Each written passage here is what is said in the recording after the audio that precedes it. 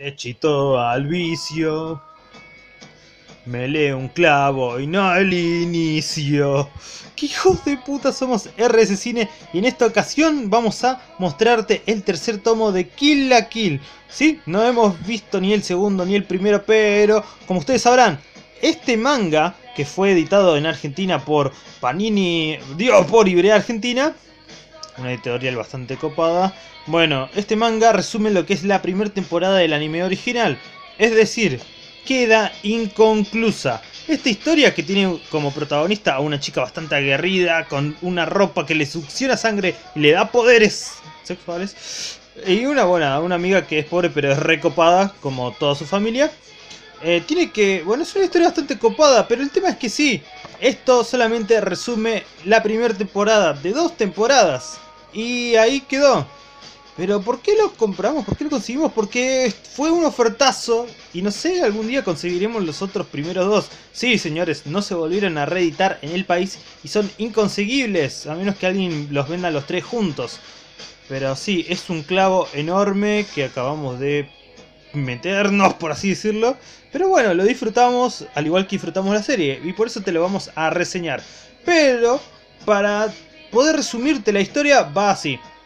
Esta chica, esta chica tiene que vengar a su viejo, que por lo visto fue asesinado y lo único que le quedó de él fue esta ropa que le va a chupar la sangre para obtener poderes. Le va a dar poderes enormes. Como si fuese un traje meca, pero en forma de ropa que le muestra todo el cuerpito. Entonces ella va a ir a una, a una academia donde todos utilizan estos tipos de trajes que le da poderes para poder descubrir la verdad, quién mató a su viejo y por qué ella ha vivido toda su vida en un internado sin verlo. Y su viejo es una especie, era, una especie de científico loco que trataba de darle vida a estas ropas. Hasta ahí todo el misterio. Entonces, bueno, ella va a parar a la casa de una compañera, que es esta chica que es bastante alocada. Es la voz de la conciencia en esta serie, es la que termina todos los chistes de cada capítulo. Y la familia también es muy animada, es muy caricaturesca, por así decirlo. Entonces, disfruten lo que es esta portada porque si compras esta serie por partes y no completa, es porque te gustan las portadas, por así decirlo, te gustan los personajes. Pero sí, la historia queda ahí cortada. Lo que tenía esta edición de copada es que tenías la sobrecubierta, la cubierta interna tenés la misma imagen que en la portada de afuera, pero con un color bien rojizo. Después tenés acá, bueno, al costado tenés algunas palabras del, del autor otra imagen de los cuatro generales del colegio que se tiene que enfrentar la piba y una enemiga sorpresa. Entonces, ¿qué sucede hasta, hasta esta parte de la historia? Sucede que ella va a la academia, se tiene que enfrentar a todos los clubes del colegio que cada uno quiere vencerla a ella para ganar estatus, porque en el colegio los más campeones son los que tienen estatus y mejor vida social, es decir, mejores casas, mejores privilegios, y los que no tengan estrellas, los que no hayan ganado en sus clubes a otros, no tienen ningún derecho, ni comida, ni nada copada como los otros. Entonces todos quieren vencer a esta chica porque la directora les ordena, bueno, les ordena vencerla. Acá tenemos a su compañeris y a sus amigos, o sea, a toda su familia es bastante cómico. Bueno, estas son las imágenes a color que tiene este manga. Miren a la protagonista. La, protagonista es una especie de Genki. Es el tipo de chaboncito recopado, re cool que aparece en esta serie, solamente que es mujer. Lo cual le da un plus ultra a la serie. Ya que eh, se parece mucho a las series mechas, posta. Bueno, entonces muestran qué fácil ella va venciendo a todos con su, con su armadura Senketsu que encima le habla, tiene vida propia. Porque sí, hasta entonces se sabe que las fibras que le dan poderes a estas ropas son fibras como inteligentes, fibras como... Hasta ahora no te dicen de qué se trata y no te voy a decir porque lo vas a ver en la segunda temporada seguramente del anime. Pero bueno, tiene conciencia propia su ropa. Y Ruko, la protagonista, va a seguir peleando y peleando. Y por lo visto uno de sus profesores pertenece a una organización de nudistas que están en contra de estas ropas. Y bueno, ahí muestran cómo está con la familia, re feliz de que, de que ella vivió toda su vida sola. Entonces se encuentra con estos tipos re graciosos. El papá, el hermanito y la mamá de su amiga que le dan de comer cualquier cosa frita o la espían cuando se bañan. Pero tienen esa calidez de la familia. Y entonces para, como ven, que a cada chico que se están con los que se están enfrentando en el colegio le dan armaduras de poder y mejor estilo de vida, ella dice yo voy a hacer mi propio club dentro del colegio, así le dan mm, una mejor vida a mis compañeros. O sea, a la familia de su amiga.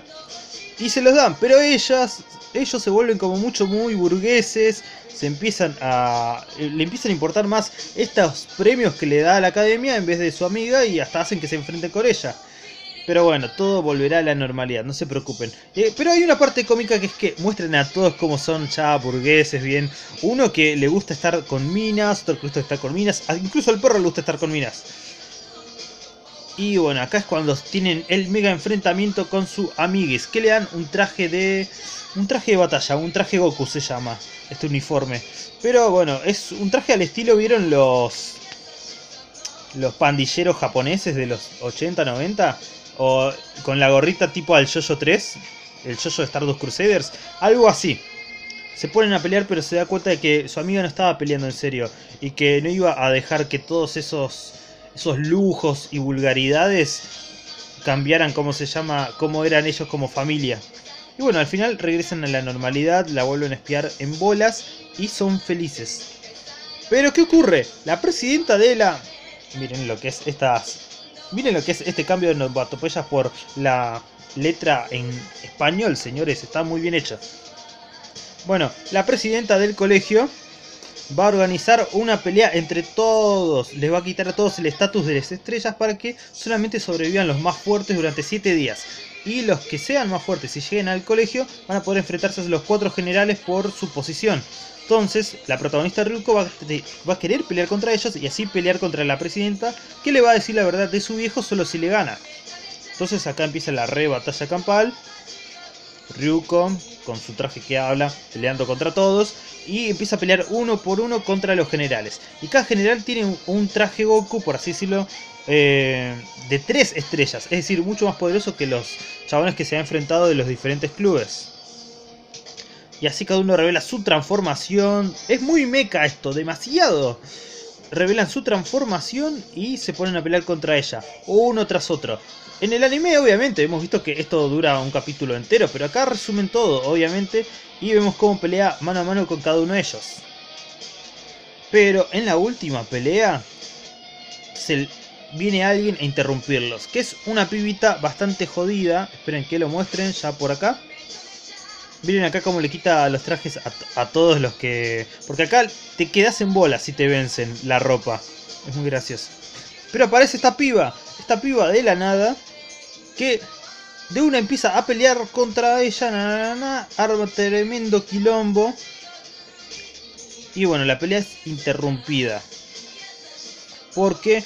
Porque resulta que esta piba es la que venció a su... Acá hacemos un stop, señores.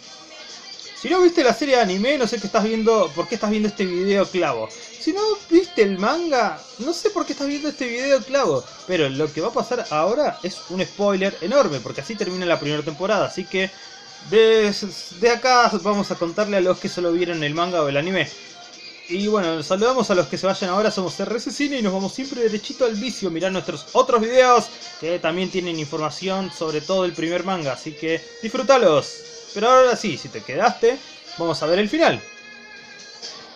En el final, esta piba que viene de la nada, que encima tiene como una especie de jerarquía tan grande como la de la directora, ya que no, le, no la detiene ni le hace nada, se pone a pelear y le revela que es ella la que mató al viejo de la protagonista, de Ryuko. Entonces Ryuko enloquece, enloquece tanto que su sangre hierve.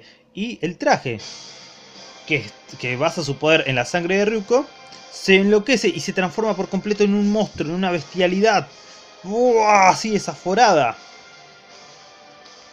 Entonces para detenerla está el profesor nudista que quiere dispararle un traje contra que destruye esas fibras poderosas de la ropa.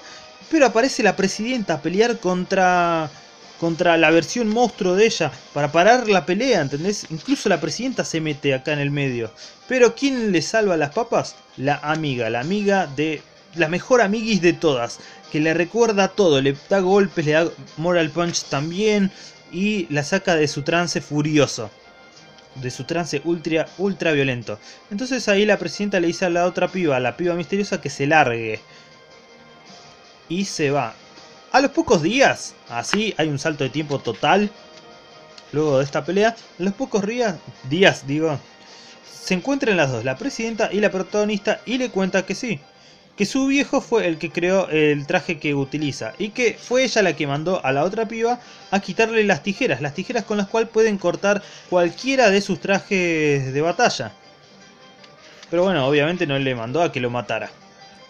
Entonces le dice que solamente que todas estas peleas que han tenido durante estos tres tomos han sido para poder modificar sus trajes y hacerlos más fuertes y con eso poder conquistar el país. Así que ahora se va a largar a conquistar los otros colegios y ella se queda ahí, sola, en la nada y sin ninguna información. Va a tener que pelear de nuevo contra todos para poder volver a enfrentarse a la presidenta y sacarle más información.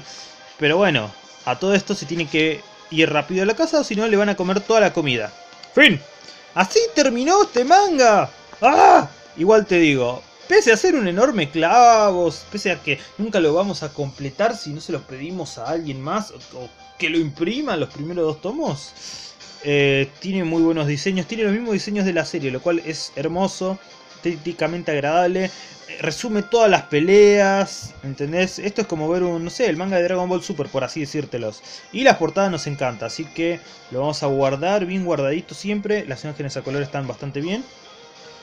Y bueno, ojalá lo hubiésemos conseguido completo, pero no, este tipo de cosas hay que aprovecharlas mientras todavía existan, porque no se sabe, nunca se sabe si algún día lo van a reprimir o no, no lo sabemos. Pero bueno, somos RCCine y nos vamos derechito al vicio con este clavito.